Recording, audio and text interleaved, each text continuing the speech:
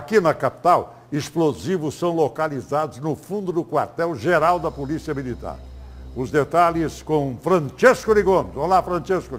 Nós estamos neste momento na rua 13A, região do Jardim Vitória.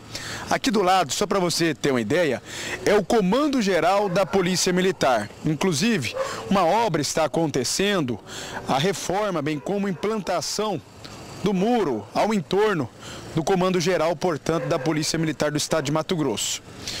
Alguns homens estão empenhados, mobilizados nesta obra.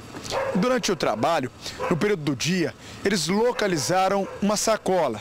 E no interior desta sacola, conforme você pode observar nas imagens, foi verificado que o material era de emulsão explosiva, estopim hidráulico e também espoleta, ou seja, artefatos, bombas.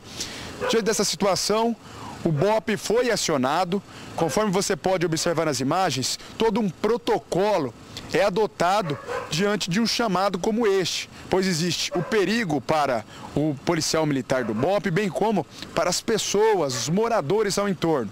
Diante de muita cautela, muito cuidado, estes artefatos foram encaminhados até a base do Batalhão de Operações Especiais, o BOP aqui em Cuiabá, onde foi periciado e posteriormente esse material foi explodido.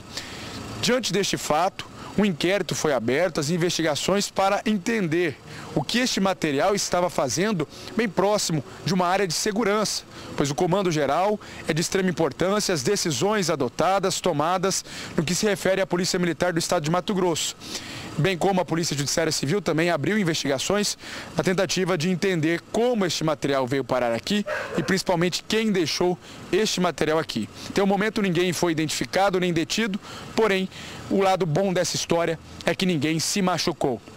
As imagens são de Roberto Garcia, apoio técnico de Alessandro Macedo. Francesco de Gomes, para o Cadeia Neles.